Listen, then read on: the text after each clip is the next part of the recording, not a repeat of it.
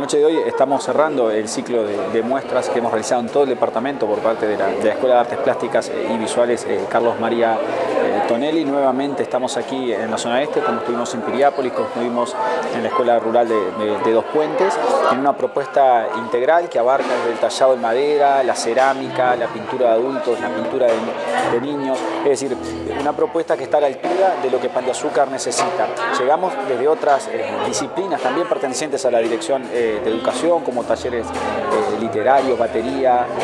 ballet, danza folclórica, pero puntualmente desde la Escuela de Artes Plásticas tenemos una importante presencia que se ha venido sosteniendo y ampliando a lo largo de los años y que demuestra que somos una dirección presente en todos los rincones del departamento, no nos circunscribimos a la capital departamental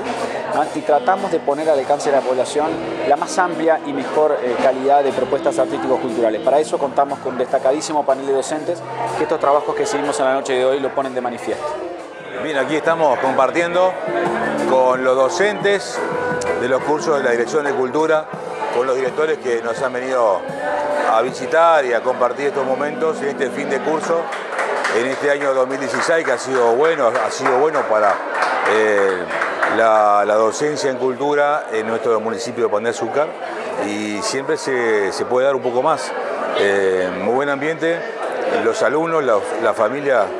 de los alumnos y además eh, los funcionarios del municipio de Pan de Azúcar, del área de cultura, siempre cerca de, los docentes para que las cosas salgan bien. Nosotros reconocemos el esfuerzo, el trabajo de todos,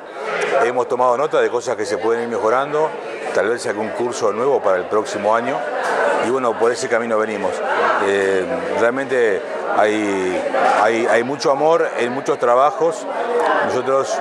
seguramente no hemos tenido todo el tiempo de visitar a, todos los talleres, en todas las clases, pero sí estamos al tanto de lo que viene pasando. Tenemos eh, algunos pedidos para el próximo año, así que bueno, conjuntamente con la dirección trataremos de dar este, buenos y, mejores pasos hacia el futuro. Estamos presentando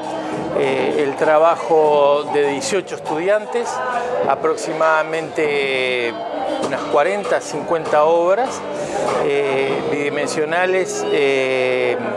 varias técnicas, acuarela, acrílico, óleo sobre lienzo y también dibujo.